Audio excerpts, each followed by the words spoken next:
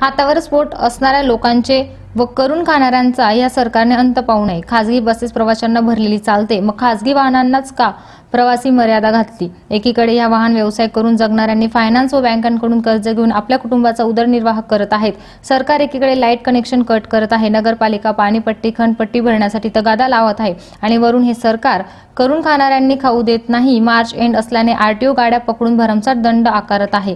Traffic पोलिसांचा त्रास वेगळा असतो. मग यांनी जगावं की मरावं हे सरकारने सांगावं असा प्रकट सवाल छावा संघटनेचे सागर चव्हाण यांनी सरकारला विचारला आहे. आठ महिने झाले कुलजरवाल्यांचा व्यवसाय मोडकळे झालेला आहे. जसं सरकारनं लॉकडाऊन जाहीर केलं तसं या कुलजरवाल्यांचा व्यवसाय कुलजरवाले घरीच बसून आहेत.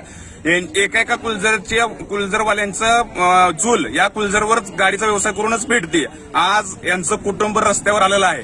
सरकारनं आज या कुलजरमध्ये नऊ प्लस वन एवढी पासिंग असताना मर्यादा प्रवासी मर्यादा असताना सरकारनं कोविडची कारणं देऊन आपल्या खासगी वाहनाचा उत्पन्न वाढवत या खासगी वा- व- वाहनधारकांचं जगणं मुश्किल केलं आहे आपल्याच्या स्वतःच्या बसमध्ये पन्नास सीटर्स खचाखच फुल भरून चालते यांना त्यावेळेस कोविड होत संसर्ग होत नाही. आणि ज्यावेळेस कुलझरमध्ये चार चारच्या प्लसवर पाच जर जर लोक असेल तर आरटीओ पोलीस ट्रॉ- रस्त्यावरचा ट्रॉफी पोलीस यांना दंड आकारून दंड कारवाई करत आहे.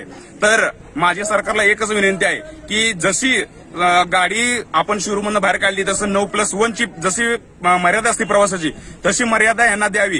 व जे आरटीओचा त्रास आहे वो आरटीओचा त्रास लवकरात लवकर थांबवा. जर असं या काही आठ दिवसात आम्ही सरकारला अल्टिमेटचा इशारा देतो आठ दहा दिवसात तसं जर नाही झालं यांच्यावर जर कारवाई व्हायची नाही थांबली तर ह्यांचा उद्रेक झाल्याशिवाय राहणार नाही आणि सरकारला याचे गंभीर परिणाम भोगावे लागतील. आवाज टीव्ही न्यूजसाठी गणेश गांडुळे पंढरपूर.